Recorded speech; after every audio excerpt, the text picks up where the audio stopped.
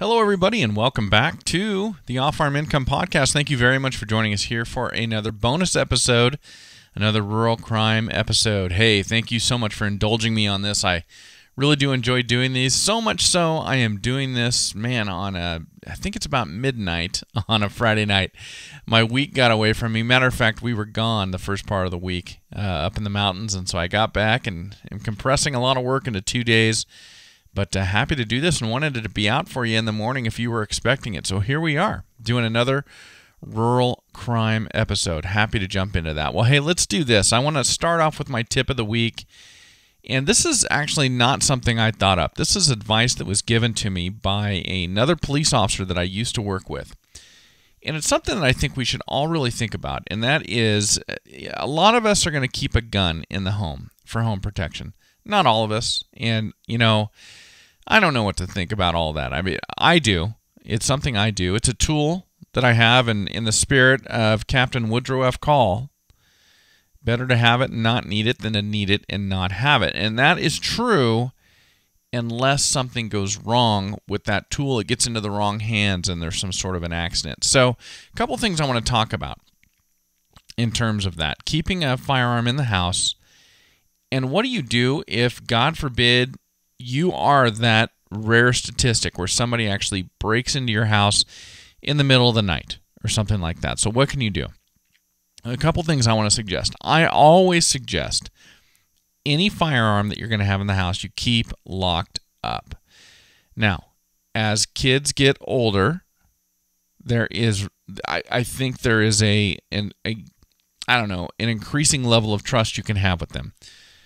I'll give you an example. We have a small rifle I keep by the back door for foxes. You guys have all heard me talking about all the different foxes that we've shot on the farm that keep coming in and killing our chickens. So I keep a rifle right there so I can grab it right away if I do get the opportunity to eliminate a fox. So I do that. But everything else in the house is locked up. And my daughter has been taught to shoot. She is much, much older now, uh, 14 years old 14 years old here in a few days, I should say. And I have a lot of trust and a lot of faith in her doing the right thing and not doing something foolish with that rifle. And as a matter of fact, uh, I would even be somewhat comfortable if she were home by herself and a fox showed up and she went out and she took care of the fox. And so it's part of her duties here on the farm, uh, honestly. But with that said, when she has friends over, or we have relatives over with small children, I lock that gun up. It goes into the safe. And if a fox shows up during that point in time, well, that's just my bad luck. Uh, but I lock it up because it's worth it to me. And so I suggest everybody keep their firearms locked up. Now, even if you don't have kids in the house, here is a good reason to do that. And again, this goes back to advice that I was given that I listened to and I thought about and I really, really liked, and I want to pass it on to you. So even if you just keep one handgun in the house or something like that, get one of those little fingerprint fingerprint based safes or a little combination safe, a key operated safe, or one of the ones with the little touch pads with a code, and just have it in there. Even if you're not going to secure it to something, have the gun locked in there. And here's why I suggest that even if you don't have young children in the house and you don't have any coming over. And the reason I suggest that is because it made a lot of sense. You wake up in the middle of the night and you hear a noise. And I have read over the years tragic, tragic stories of people waking up in the middle of the night, grabbing their gun, seeing somebody moving about, shooting them, and it being somebody they love, somebody they care about who just for some reason or another isn't an abnormal part of the house at an abnormal part of the night. And it's a tragedy. It's an absolute tragedy. And we don't want that to happen. So lock that sucker up in something something. Even if it's right next to your bed, if it's locked up in something, two things. If, my goodness, somebody were to come into your house in the middle of the night and you were not to wake up until they were in your bedroom around you, they're not obtaining that firearm before you do. They're not seeing it and grabbing it. That's one thing. But the more important thing and the more likely thing that we need to take care of is we need to give ourselves time to wake up. If we hear something, we think there's a threat in the home, and we're waking up and we're grabbing a firearm, we need to give ourselves time to wake up. You come out of a REM stage of sleep and you it takes a minute to get your bearings, to understand what's going on, where you're at, what's going on, all of that. And if you have to think about the combination and open that safe or open that little container, that's going to help wake you up so you can make better judgments with that deadly weapon and avoid that tragedy of accidentally discharging that weapon at somebody who belongs in that house because you're still groggy, you're still asleep, you're just barely waking up, and you just don't even have your bearings about you. You don't have your wits about you. So lock that sucker up in something lock it up in something that you can retrieve it from very quickly. But it's just that conscious thought of what do I have to do to get this thing out that's going to help help to wake your mind up and help you to make better decisions. So that's my tip there. Uh, next week, I will try and remember to do one about what you do next if you wake up and there's somebody who's actually broken into your house. But man, and it'll be it'll be based along the same piece of advice that I was given that I really really liked. So if that occurs, you want to have that locked up so you force yourself to wake up before you get that thing out. Because the odds are, the odds are truly higher that you will accidentally get that gun out for somebody in your house doing something strange that's not normal, but who belongs there, rather than somebody actually breaking in. I'm not saying not to have a weapon for home defense. Don't get me wrong. Just make yourself do something so you don't make a tragic mistake. All right. Well, let's jump into uh, rural crime in the U.S. So, a couple stories this week. Uh, this first one takes me back to my days as a detective when I was a domestic violence investigator. And uh, I wanted to read this one to you. This comes from actually from Washington State University, which has a really, really great criminal justice PhD program and, and great criminal justice program up there in uh, Pullman, Washington, uh, right across the river, I think, from Moscow, Idaho. Two universities very close right there University of Idaho and Washington State.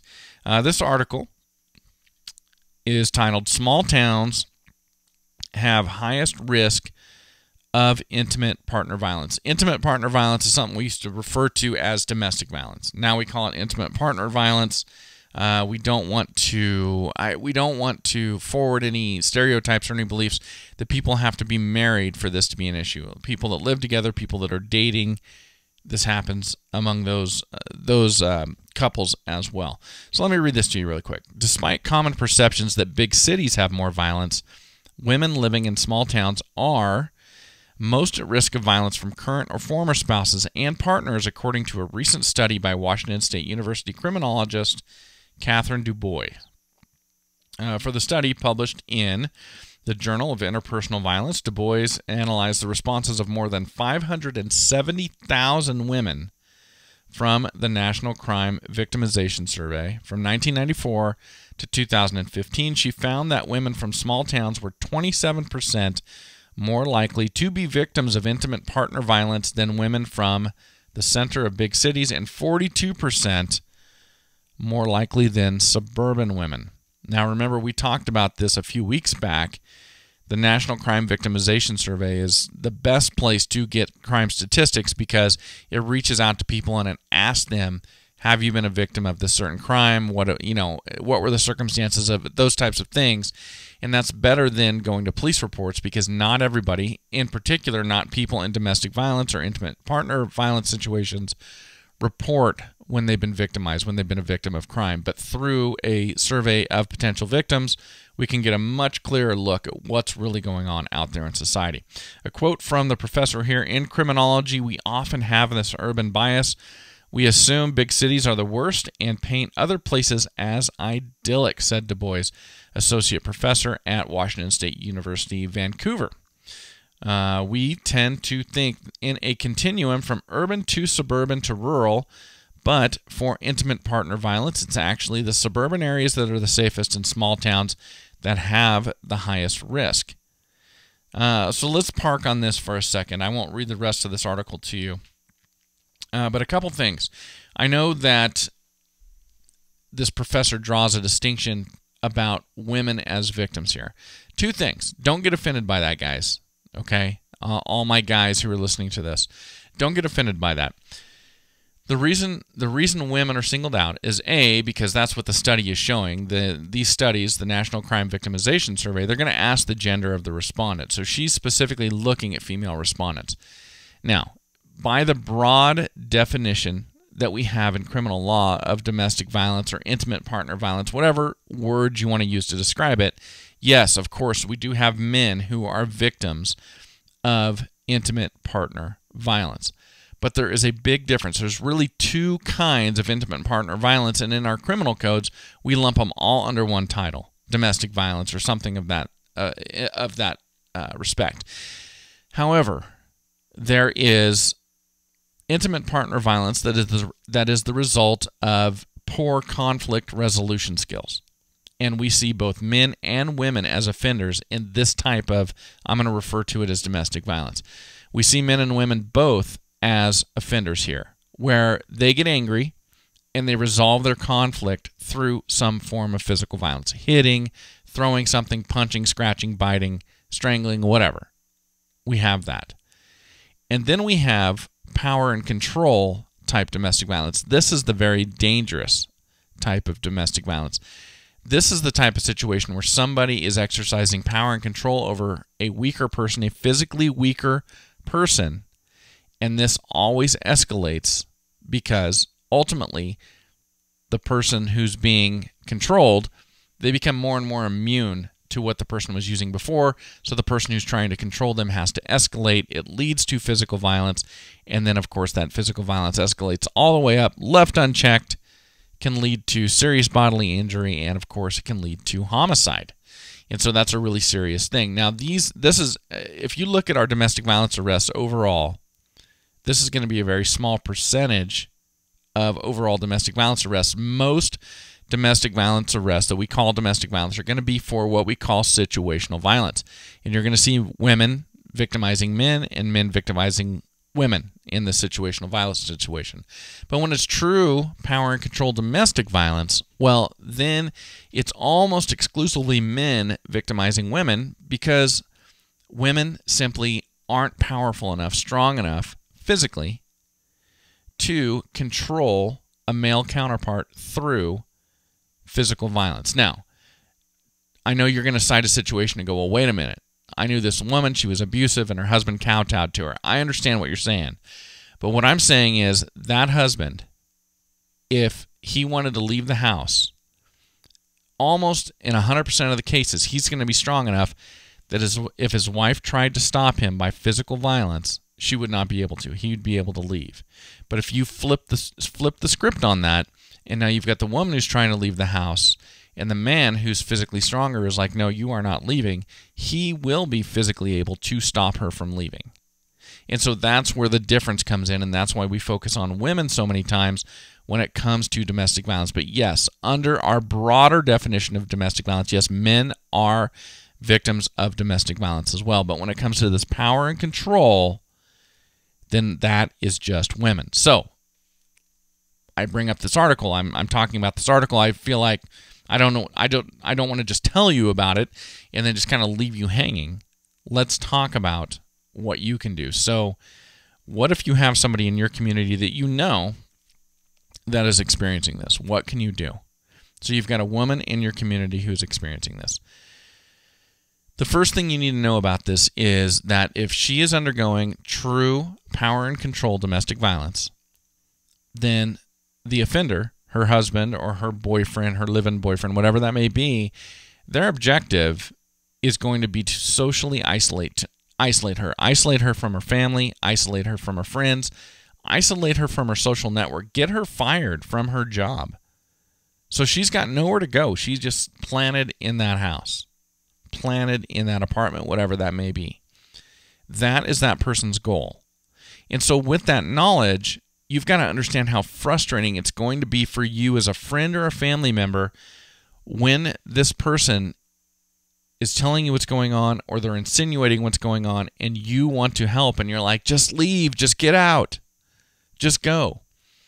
But there's so much built into this, both the mental part of what this person's going through, the psychological part, uh, what's tied up in family assets, if there's kids. I mean, there's so uh, guilt, uh, gaslighting, all these types of things that are that are tied up into this very very toxic relationship. There's so much tied up into this that while it's very simple for you to say, why don't you just leave? It is not nearly that simple for the victim in this case. And so as your frustrations grow because she's not just leaving, and you say, well, that's it. I'm not going to try and help anymore. This is taking too much of a toll on me. And by the way, that's very understandable. Then if you cut her off, you're helping this guy to achieve that isolation that he is seeking, to leave her more and more helpless she will eventually leave, but she is got she's got gut instincts. I mean, we're talking primal gut instincts, survival instincts here, and she will eventually leave when she feels like the benefit of leaving outweighs the cost because what's the cost? The most dangerous time for the victim of a power and control domestic violence situation is when they leave, when they attempt to take control back. And when they do that, that is when they're most likely to be a victim of a homicide or an attempt attempted homicide. And so they're weighing the cost versus the benefit of, of leaving all the time. And when it gets dangerous enough, or when it seems like the danger subsided enough that making an escape, leaving, is more possible, they will leave. But they're going to leave on their own terms when it's safe for them, when it's safe for their kids, when they finally have that realization but it's much, much more difficult for them to leave if their social network is broken down and they don't have somebody there for them. So, first and foremost, man, just find a way to suck it up, to live with this for a while, and to be there for them when they're ready to go. And just plant seeds. You, tell them, hey, look, you know, uh, here's a strategy. Tell them, hey, look, I'm going to put $500 aside. I'm going to keep it in the top of my closet or whatever it may be.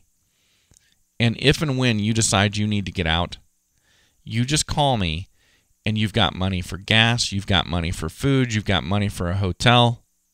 You can be five towns over. I'll put it on my credit card. There's no way he's going to find you. We'll get you somewhere safe. Plant that seed, be that kind of resource, and help that person out um, and just plant that seed and let and and let them know that you are there as a resource to help them if and when they become ready. Now, should you should you not call the police? Uh, if you know that this is going on, my recommendation is yeah, you should call the police. Uh, there are benefits to intervention. There are laws written to give the police leverage to be able to help a victim in these situations. So, yes, it would be my suggestion that, yes, you do call the police if you know that there is this type of power and control domestic violence going on. Understanding that when you do that, you should be very sure of what you're doing because it can really ramp up and escalate the chances for that isolation, for you being cut out of that person's life as a support structure, and also when the police show up, you just never know how that can escalate it. Now, I'm not saying don't call the police, but I'm saying be sure. You've got to know in your in your you know, in your mind and your gut that if I don't do this, she's going to get hurt really bad or she might possibly get killed. And man, if you're thinking that, you got to get on the phone and you got to do that. So this is a tough situation. I'm sad to say that uh, the statistics bear it out that it's worse in rural areas. But again, isolation, right? Um, if somebody wants to isolate somebody, where better to go than a rural community? So it just kind of goes hand in hand. So uh, that's probably enough on that. Uh, there's really good resources out there if you've got a friend who's in trouble. Your local county, county sheriff's department, your local municipal police department, or your state, if there's a family justice center in your state or something like that, they're going to have tons of resources to help you negotiate this. But man, you you really want to uh, you want to do it right. You really want to do it right. Another thing you might do if you suspect things are going on is you might do a risk assessment or a threat assessment. Uh, there's a company called Gavin de Becker and Associates. You can look them up online, and they have a threat assessment tool called Mosaic. Uh, it is a great tool. Uh, I used it when I was a police officer investigating domestic violence. I had my interns use it uh, to uh, do threat assessments for people coming in on misdemeanor cases. And Gavin de Becker makes it free. The, the domestic violence tool is free for anybody to use. You can sign up, you can use it, you can go through the threat assessment, you can go through it with your friend or your relative who might be going through this.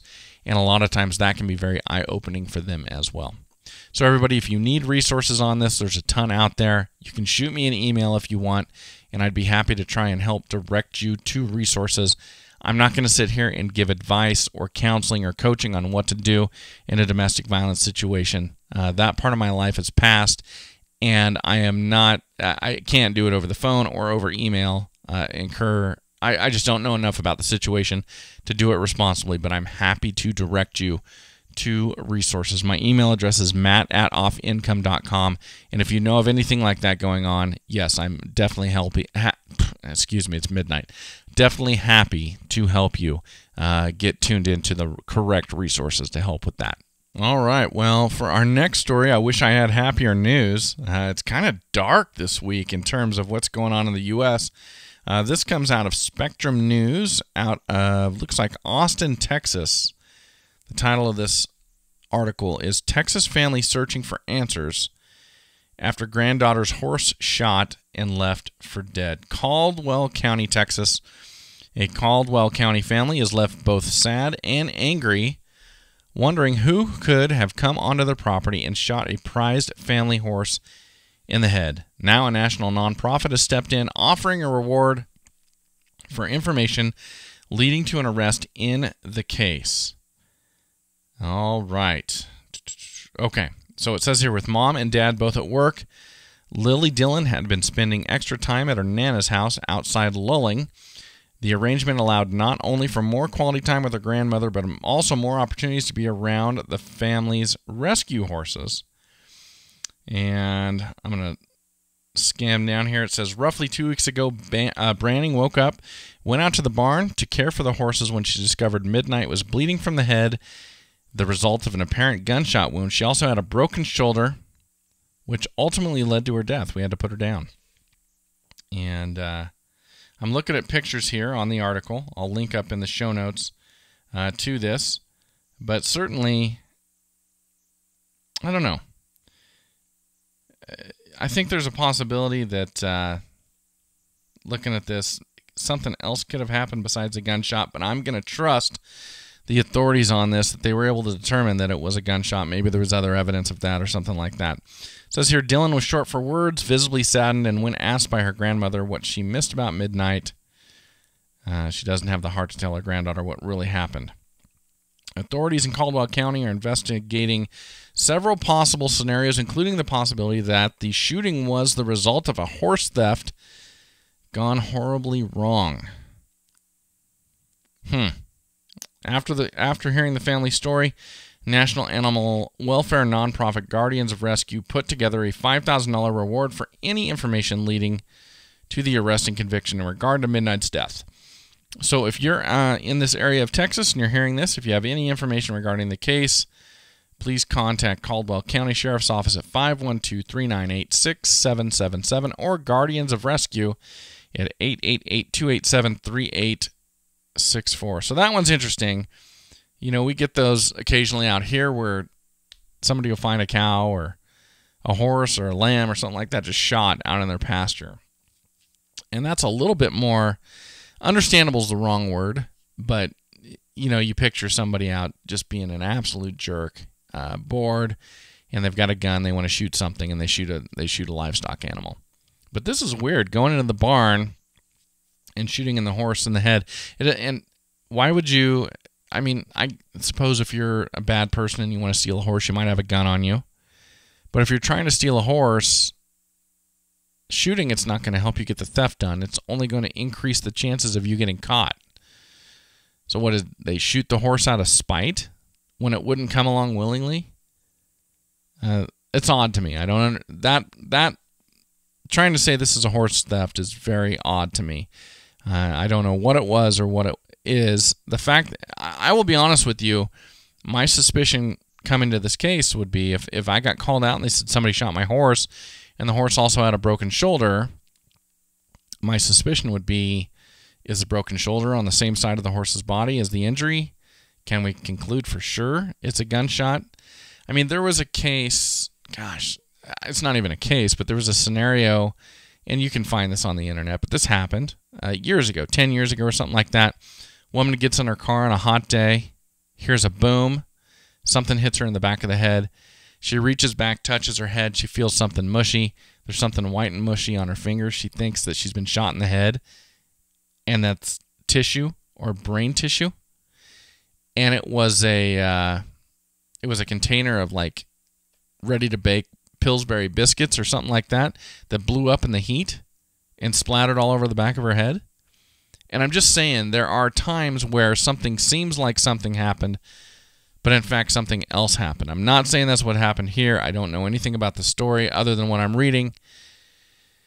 Uh, but it is very interesting. Uh, I can't picture the scenario where this would happen and why somebody would actually shoot the horse. But with that said, if you have any information or any thoughts or any leads, hey, let these folks know.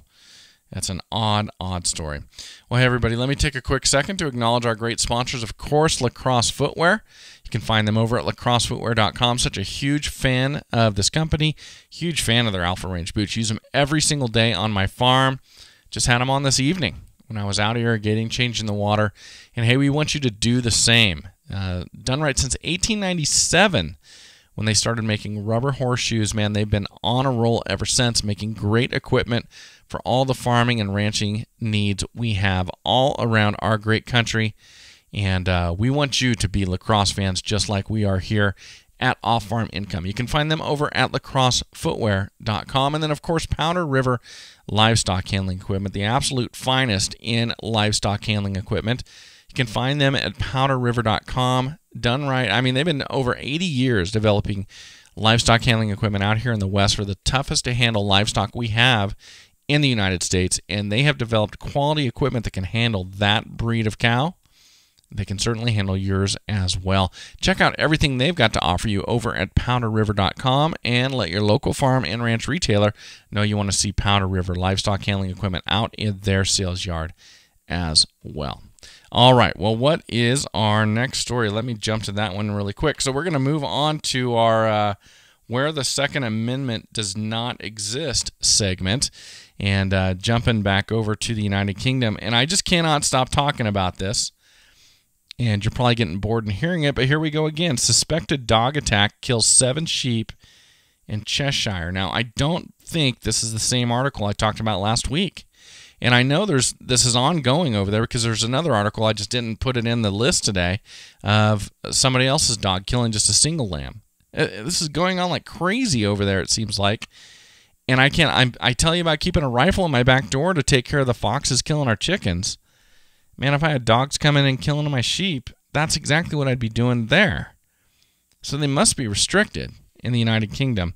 Uh, this is out of Farming UK. Suspected dog attack kills seven sheep in Cheshire. It says the force's rural crime team released horrific images showing the aftermath of a suspected livestock worrying case. So that's got to be like harassment, I would assume. Figures show that livestock worth 1.2 million pounds were savaged by dogs last year in the United Kingdom. 1.2 million pounds. The incident occurred in a field in Tattenhall area on Sunday, the 2nd of August, according to Cheshire Constabulary. Constal, constabulary. They're constables there. Uh, four photos of dead sheep were shared on the Cheshire Police Rural Crime Team Facebook page. PC Tether said, This afternoon I attended a report of livestock attack in the Tattenhall area, which occurred the previous evening. Sadly, this attack left seven sheep, which were all used dead. It's likely this attack was caused by a dog. No one has come forward to report the incident. So if it was somebody out walking their dog off leash, they are not doing the right thing. Please ensure if you choose to walk through a field where there are livestock or cattle, you keep your dog on a lead at all times and follow the countryside code. So I know I'm I'm kind of bagging on them over there saying you got to shoot these dogs, but Obviously, they weren't there when it happened. Otherwise, they'd be able to say for sure it was a dog and whether or not there was an owner and and all of that. Man, I just, it just blows me away uh, what I keep reading about. And by the way, more articles uh, over here where uh, they're talking about how many sheep are being stolen during the COVID shutdown. I didn't put that article in here. I decided not to cover that one. But man, people are just stealing sheep left and right over there too, uh, which is really interesting to me. And I know they got bigger social safety nets than us there for food and things like that. So it's confusing to me. And by the way, other articles I, I'm not telling you about South Africa. And I'm not telling you about this because it doesn't really fit into the theme of what I'm talking about here because they are armed down there. But I cannot believe what I am reading about murders of farmers in South Africa. I don't want to gloss over that and not mention it. It's just not, it doesn't fit in with what I'm trying to cover here. But my goodness, you guys, there is a crisis. There are farmers being murdered left and right in South Africa. Uh, and it appears it's just it's theft of food it's robberies it's unbelievable stuff uh, but don't want to gloss over that all right our next not uh, the, where the second amendment doesn't exist article let me bring this one up for you uh, so this one is all about mental health and this is really interesting to me because this is out of farmers weekly over in the united kingdom and of course the mental health of farmers in the united states is a hot hot topic, very hot topic. But it's not isolated just to the U.S., which I found interesting. And it's interesting the the uh, connections they, they come up with here. So the title of this article is Mental Health Anguish Linked to Rise in Rural Crime. So stick with me here. A rising tide of rural crime is causing mental anguish to farmers and threatening their businesses, a report has warned. And now there are several articles this week about spikes in rural crime in the United Kingdom. Think about our farmers in the United States and what they're going through in terms of mental anguish and depression and things like that. And then all of a sudden they start getting victimized. And where they were having a hard enough time making it already, now somebody's stealing their stuff and making it almost impossible for them to turn a profit, for them to keep their farm, whatever that may be. You can see where this would come into play. It goes on to say here the cost of rural crime has risen by 9% to 54 million pounds over the past 12 months, its highest level for 8 years according to the NFU Mutual study. Crime in the countryside has risen across all UK nations and regions and is expected to increase further, it warns. Criminal gangs are stealing expensive pieces of farm machinery but they are also taking smaller, high value items. Targets include GPS kits worth thousands of pounds, which is then sold on the black market. NFU Mutual Rural Affairs Specialist Rebecca Davidson said the coronavirus lockdown had initially led to a decrease in rural crime, but there were signs that criminal activity was starting to escalate as the economic impact of the pandemic began to bite. So it's not just about going hungry it's about not having income. That's interesting. At the same time, farmers were having to deal with an increase in dog attacks against livestock and an influx of walkers on their land. Walkers. If you walk, watch The Walking Dead, you, you're thinking zombies. But no, I think they're talking about trespassers and uh, people who have nothing to do because everything's shut down, so they're trespassing going for walks. Incidents of fly tipping waste, which I believe is just littering and dumping in the countryside had also increased while local authority recycling centers were closed. Why would you? I don't know. Sorry. I don't know why you would shut down recycling centers because of COVID, but I think they did. These crimes, compounded by the extra pressure of COVID 19, can seriously affect the well being of farmers who work long hours and often in isolation. And I totally believe that. So that is very interesting what's going on over there. And again, you know, uh, I I credit the fact that we don't have rashes of farm crime, agricultural crime in the United States with the fact that we do have the second amendment and we have that perception that farmers are armed and they can shoot just because somebody's trespassing trespassing on their land even though they can't even though that's not real that perception, I think, really does a lot to quell agricultural crime uh, in the United States. Because what other reason would people stop themselves from committing agricultural crime. It's so isolated, so easy. All right, so let's uh, get to our one for the good guys segment here. And get a little swig of water there. This comes from Y'all Politics. Never heard of this uh, publication, but that's a cool title. Y'all Politics. And it says here Ag theft investigation leads to recovery of stolen tractor and disc in Clarke County. This comes out of the Mississippi Department of Agriculture and Commerce. The Mississippi Agricultural and Livestock Theft Bureau, MALTB, the lead agency in a stolen tractor theft investigation, made an arrest and recovered a stolen Kubota tractor and Tufline disc in Clarke County. The investigation was led by MALTB investigator Jamie Taylor with assistance from investigators Jim Stone, Leon Wedgeworth, and Leonard Bentz. Quote, I commend Director Dean Barnard, MALTB investigators, and the Clarke County Sheriff's Office for their efforts in solving this case, and I'm glad all the equipment was recovered and returned to the rightful owner, said Mississippi Agricultural Commerce Commissioner Andy Gipson. For our farmers and ranchers throughout the state, their livestock crops and equipment are their livelihood, and we aim to protect and serve our agricultural communities. On August 3rd, 2020, investigators issued a search warrant at a residence in Clarke County, which led to the recovery of the stolen tractor and front end loader, as well as the disc that were previously reported stolen in Greene County. On July 18th, the value of the property stolen was $45,000. Uh, during the course of the investigation, investigators arrested Delrico S. Strickland, age 43, of Clarke County. He was charged with possession of stolen property, and he also had an outstanding warrant from the Mississippi Department of Corrections. The investigation is ongoing. So good for them. Well done, ladies and gentlemen. Really well done. That is great. And it's great that Mississippi has that. Uh, some states have that on a state level. I know Florida does. I believe Missouri does, uh, where they've got a state enforcement on agricultural and rural crimes. And I think that's great. I think it's a great investment by the state uh, that they do that. And they've got the resources out there to write and serve search warrants. I mean, that's time consuming. You go to write a search warrant, that takes a police officer off the street for a good four hours because you have to write up the affidavit. Once you write up the affidavit, you have to go meet with the prosecuting attorney or a deputy prosecuting attorney. Um, they've got to go through it. They've got to establish the probable cause. They've got to actually write the warrant. Uh, then they're going to take both of those with you in front of a judge. And if it's not during regular business hours, you're going to the judge's house. Whoever's on call, because you've got to stand in their presence, raise your right hand, and swear to tell the whole truth if you're going to be the affiant as the investigating officer.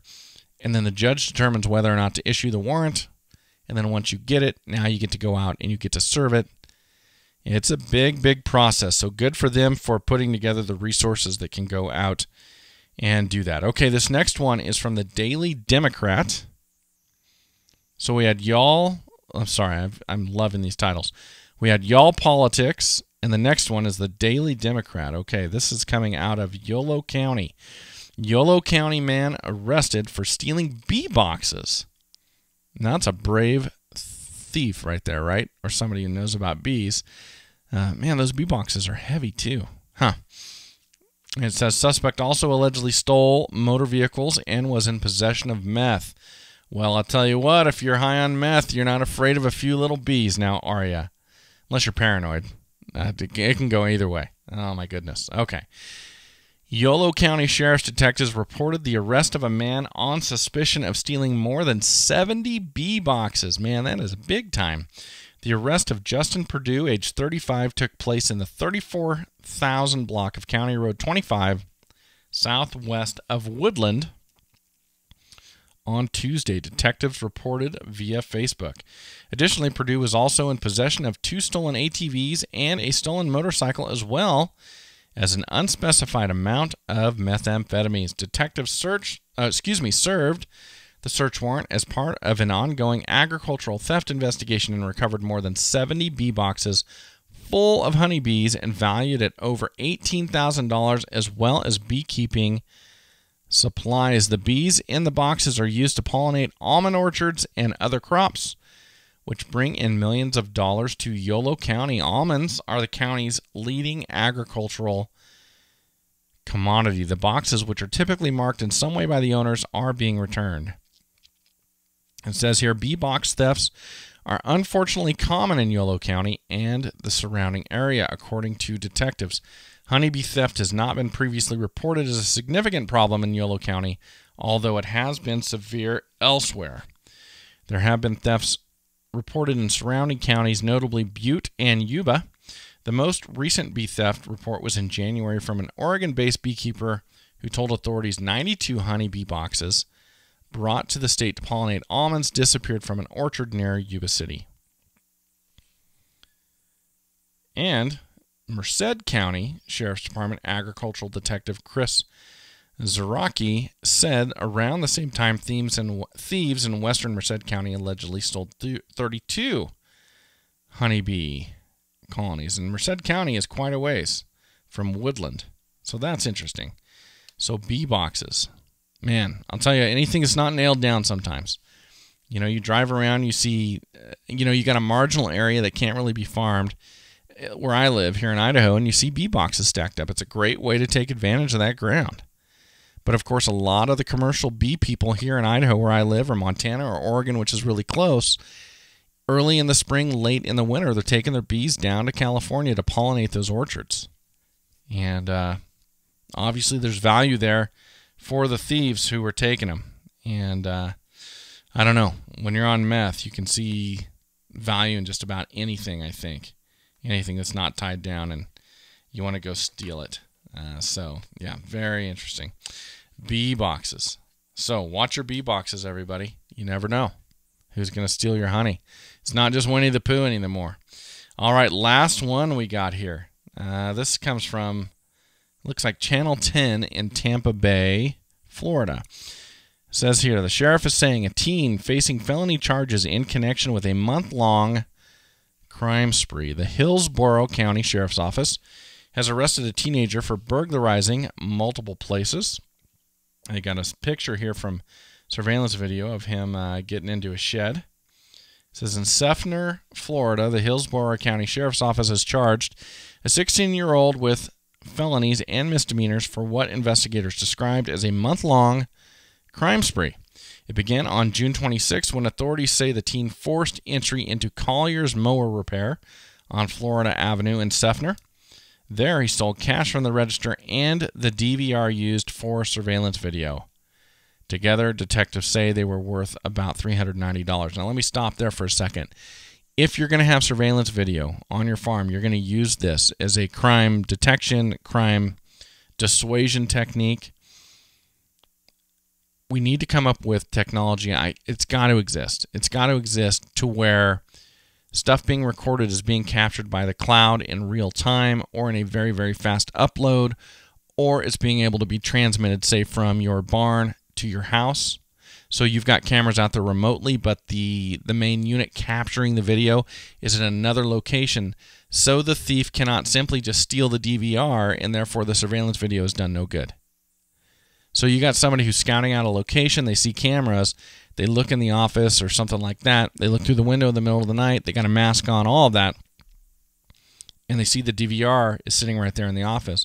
Well, now they know that all they've got to do is just break in and take the DVR as well or destroy it to the point where the video can't be recovered because it's all on there digitally. Uh, it's the equivalent of the old time bank robbers or convenience store robbers going in and ejecting the VHS tape that's been recording the surveillance video and taking the VHS tape. So if you get a system, get a system where you can have cameras out in your barn, on your sheds, and the moment the person appears in front of that camera, that image is captured. They can't destroy it.